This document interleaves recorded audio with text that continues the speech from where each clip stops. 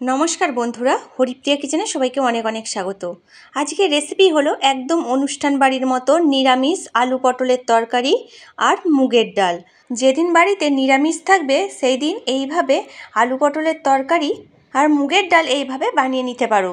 এখন কড়ার মধ্যে সর্ষের তেল দিয়ে একটা তেজপাতা আর একটা শুকনো লঙ্কা, এরপর হাফ চামচ গোটা জিরে দিয়ে দিচ্ছি। তেল গরম হতেই তেলের মধ্যে হাফ বাটি মুগ ডাল দিয়ে দেবো।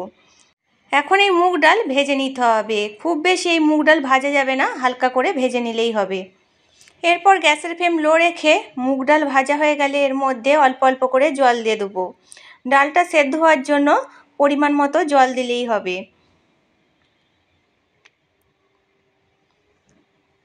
এরপর এর মধ্যে পরিমাণ মতো জল দেওয়ার পর হাফ চামচ হলুদ গুঁড়ো দিয়ে দিচ্ছি।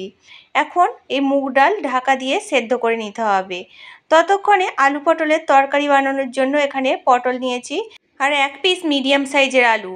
এখন এই পটল আর আলু কেটে নিতে হবে। এখন এই পটলগুলো কাটার জন্য একটা থালার মধ্যে ঢেলে নিয়েছি। এখন পটলের খোসাগুলো ছাড়িয়ে নেব।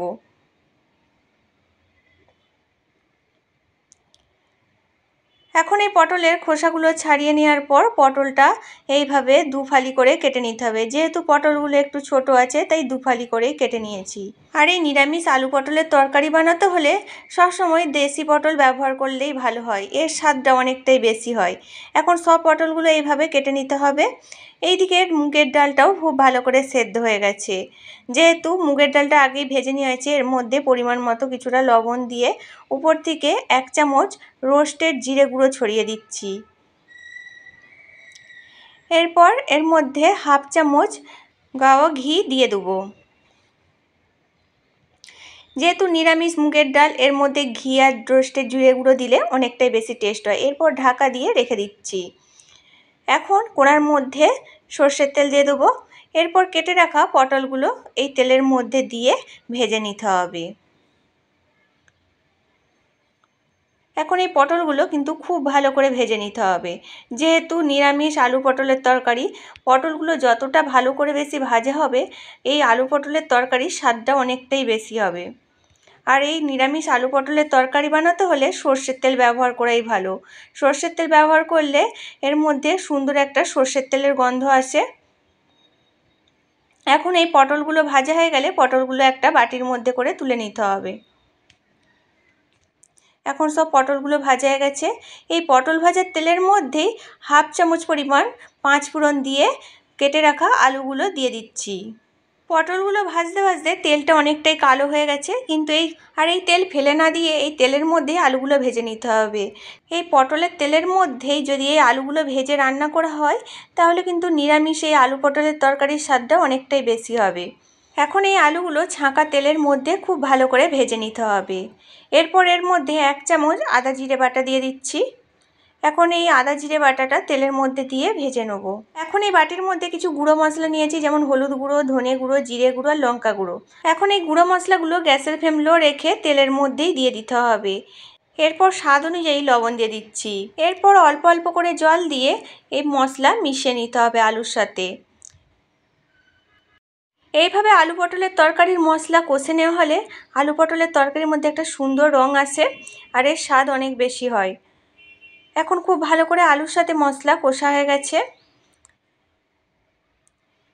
এখন এই আলুগুলো মশলার মধ্যে খুব ভালো করে কষানো হয়ে গেলে এর মধ্যে অল্প অল্প করে জল দিয়ে দিতে হবে। বন্ধুরা, নিরামিষের দিনে একবার হলেও এইভাবে আলু পটলের তরকারি বানিয়ে গরম ভাত বা লুচি, পরোটা, রুটির সাথেও খাওয়া যেতে পারে। এখন আলুগুলো সেদ্ধ করার জন্য পরিমাণ মতো জল দিয়ে দিচ্ছি। এখন ঢাকা দিয়ে আলুগুলো সেদ্ধ করে নেব। এখন এই আলুগুলো সেদ্ধ হয়েছে কিনা দেখে নিতে হবে। এরপর আলুগুলো সেদ্ধ হয়ে গেলে এর মধ্যে ভেজে রাখা পটলগুলো দিয়ে দিচ্ছি। এরপর পটল দেওয়ার পর এর মধ্যে হাফ বাটি পোস্ত বাটা দিয়ে দিচ্ছি। এখন এর মধ্যে যে পরিমাণ গ্রেভি বা ঝোল আছে সেটা শুকিয়ে নিতে হবে। পটলটা আরও পাঁচ মিনিটের মতো এভাবে ঢাকা দিয়ে ফুটিয়ে নেব। এরপর এর মধ্যে যেহেতু নিরামিষ আলু পটলের তরকারি, তাই এর মধ্যে হালকা মিষ্টতা ভাব থাকলে খুব ভালো হয়। এখন এই আলু পটলের তরকারির মধ্যে যে পরিমাণ ঝোল ছিল অনেকটাই শুকিয়ে গেছে। আলু আর পটল খুব ভালো করে সেদ্ধ হয়ে গেছে। এখন গ্যাস বন্ধ করে দেবো। গ্যাস বন্ধ করে এই আলু পটলের তরকারির মধ্যে এক চামচ পরিমাণ গরম মশলা ছড়িয়ে দিচ্ছি। এরপর এই আলু পটলের তরকারি পরিবেশনের জন্য একটা বাটির মধ্যে তুলে নিচ্ছি। বন্ধুরা, এইভাবে একবার হলো এই আলু পটলের তরকারি বানিয়ে খেয়ে দেখতে পারো। আশা করছি এই রেসিপিটা তোমাদের খুব ভালো লাগবে। এখন এই নিরামিষ আলু পটলের তরকারি পরিবেশনের জন্য নিয়ে যাচ্ছি। এরপর আলাদা একটা বাটির মধ্যে নিরামিষ মুগ ডাল বানিয়েছিলাম। এখন মুগ ডাল আর এই আলু পটলের তরকারি, গরম ভাত, লুচি, পরোটা বা রুটির সাথে খাওয়ার জন্য রেডি বন্ধুরা, এই রেসিপিটা কেমন লেগেছে অবশ্যই একটা কমেন্ট করে জানাবে। আর এই রেসিপি ভালো লেগে থাকলে আমাকে অনেক অনেক উৎসাহ দেওয়ার জন্য একটা লাইক করে দেবে। আমার আরও নতুন পুরনো রেসিপি পেতে একটা সাবস্ক্রাইব